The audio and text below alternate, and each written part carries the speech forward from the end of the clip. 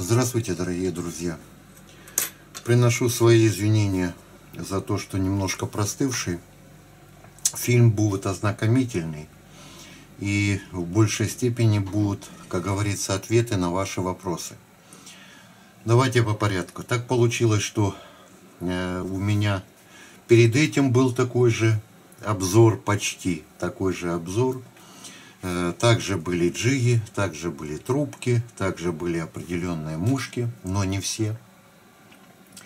И как ни будет для некоторых звучать странно, но все это работает практически во всех регионах, не только Украины, России, но и на других континентах.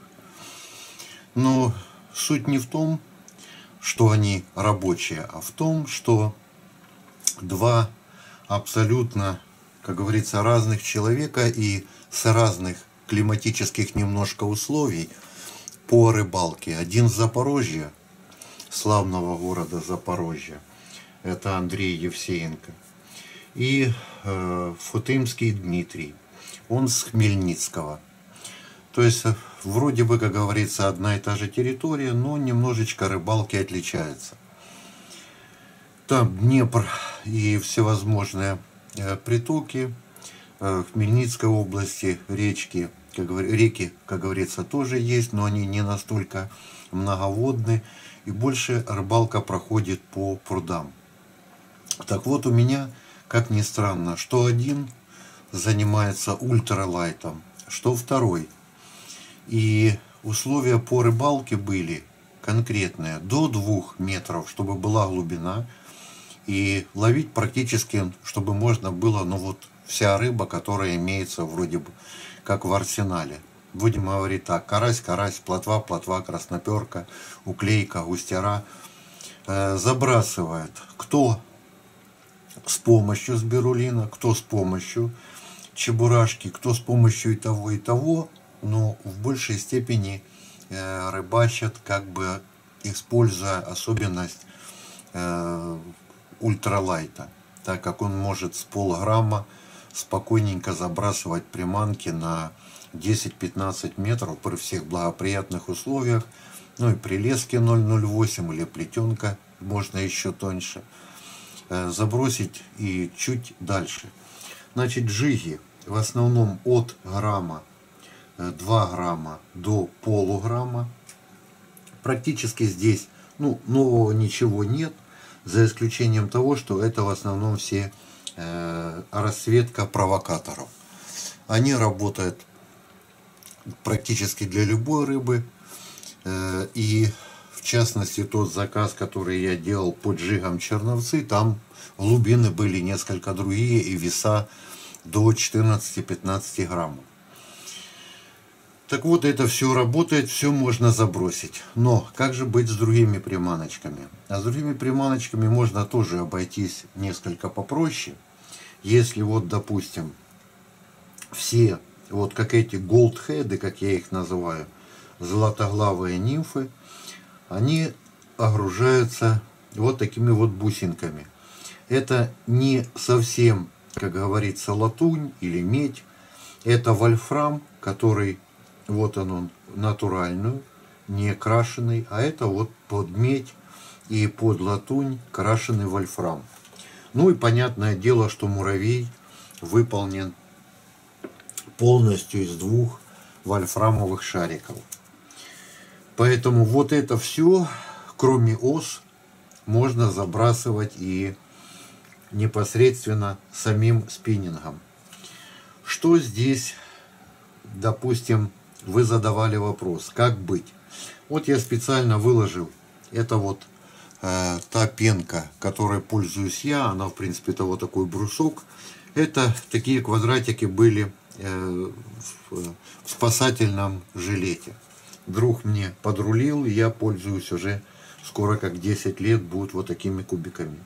Но когда у меня не было, я ходил на радиорынок, и кто торгует дисками, с ребятами договаривался, у них вот такие вот прокладочки, которые, ну, не совсем, э, ну, та же пенка, которая тоже может вот идти, как и здесь, с блокнота, э, которые могут идти в дело.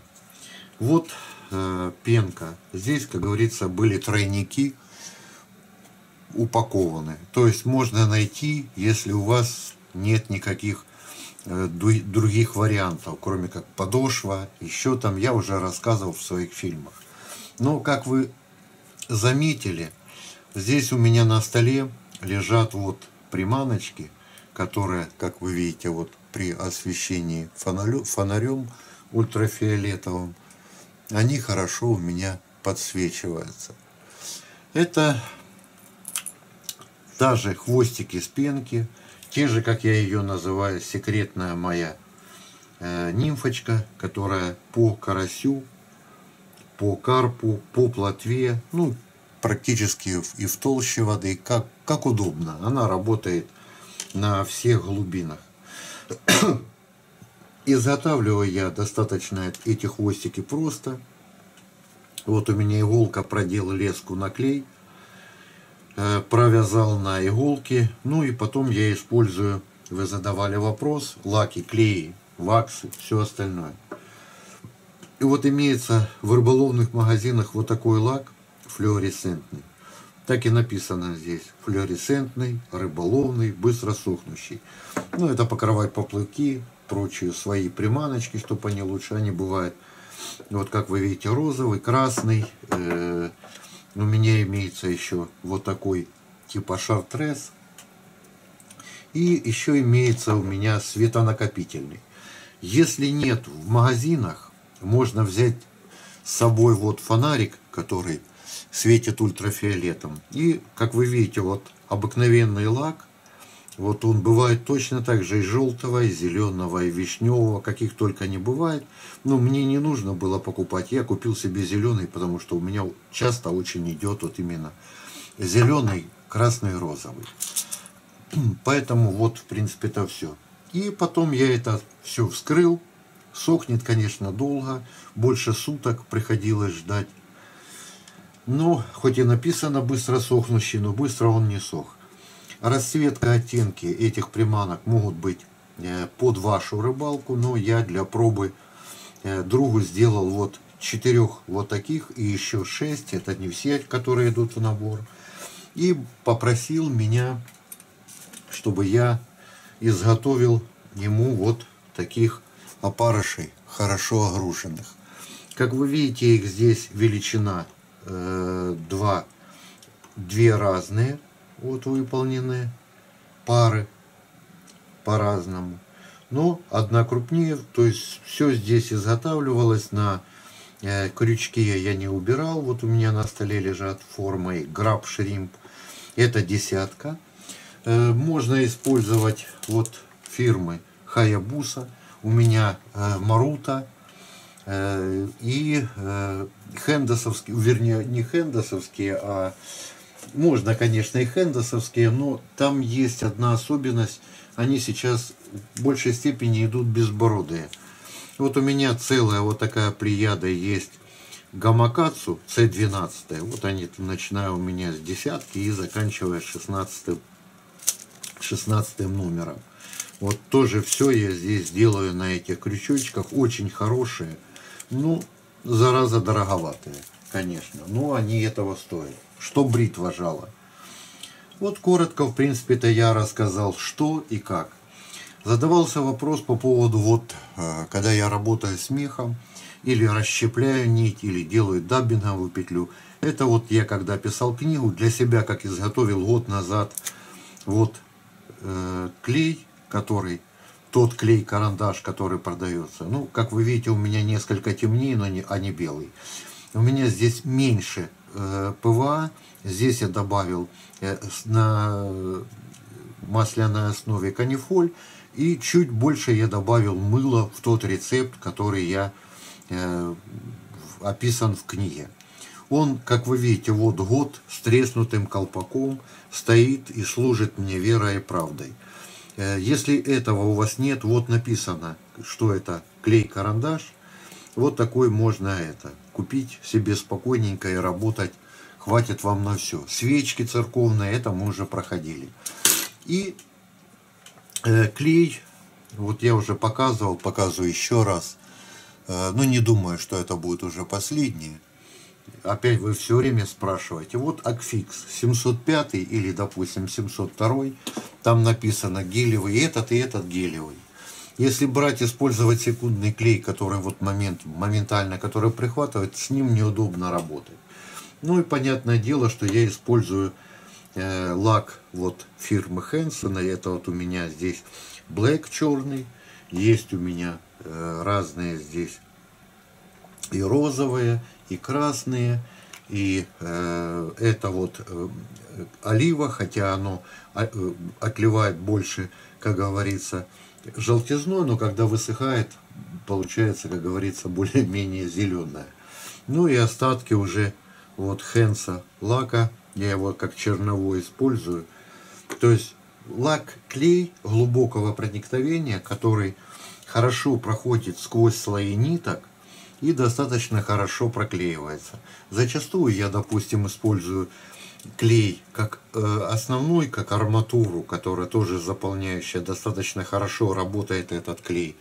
А потом уже сверху вскрываю лаком тем, который мне нужно. Потому что вот, допустим, если вот взять на трубке, то здесь я э, вскрывал все вот таким лаком красным. Он, это все флуоресцентное, то есть светится оранжевым задняя полосочка, как вы видите, и передняя. Ну и люрикс, соответственно, тоже светится. Если вот камера передаст вам, вы видите, как насколько они хорошо освещаются. Поэтому применяйте все блага цивилизации для рыбалки без зазрения совести, поэтому все у вас должно работать. Если нет никаких, вот, допустим, э, вот я показывал, вам уже неоднократно, особенно вот, как я ее называю, секретная нимфа. Вот все это вот выполнено вообще с сиреневой нитки. Э, это даббинг, это оранжевая нитка, то есть все здесь, все, что можно найти под руками.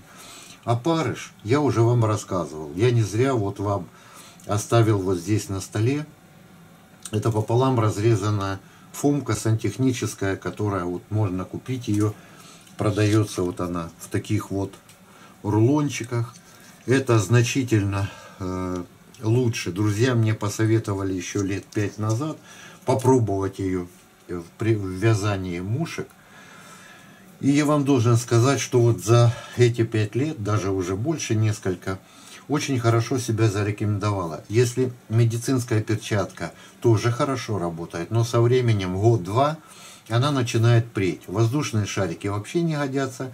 Ну, презерватив вот такого белого цвета вы не найдете. Поэтому здесь достаточно такой белый насыщенный цвет, который хорошо э, в воде контрастно работает. И рыба очень хорошо берет вот эти вот, как говорится, имитацию опарыша.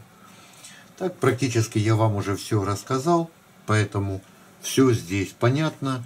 Ну, за бусинки вы тоже задавали эти все, которые для огрузки вопрос. Ребят, я купил эти наборы, бог знает когда, наверное, больше 12 лет назад мне их привезли с Москвы. Вот, поэтому я использую вот их, они уже давным-давно закончились, и я использую просто-напросто вот сами коробочки, э, и в них укладываю все, какие мне надо по весовым и по диаметрам это. Поэтому знаю, у меня здесь вольфрам, там это, здесь, допустим, серебро тоже вольфрам, здесь другие, и так оно у меня работает. Вот, в принципе, это и все. Единственное, что хотелось э, вам сказать, что цветовая гамма и вот раздражитель вот этого хвостика, это не принципиально. Это, как говорится, в большей степени моя такая заманушка. Если у вас нет вот такого лака, или же, допустим, вы не можете э, обыкновенным вот э, спиртовым э, маркером э, подкрасить его, не беда. Используйте белый.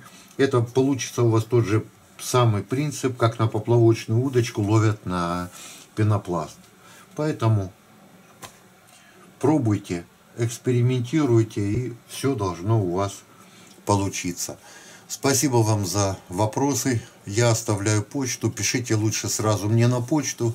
И если у вас какие-то вопросы по закупкам, допустим, мушек, вы сразу указывайте, где вы проживаете, потому что мне несколько сложно жителю Украины, Хабаровску или Сахалину писать и потом объяснять, как и что, чего это будет стоить. Вот и все, друзья мои. Благодарю вас за внимание. До скорых встреч.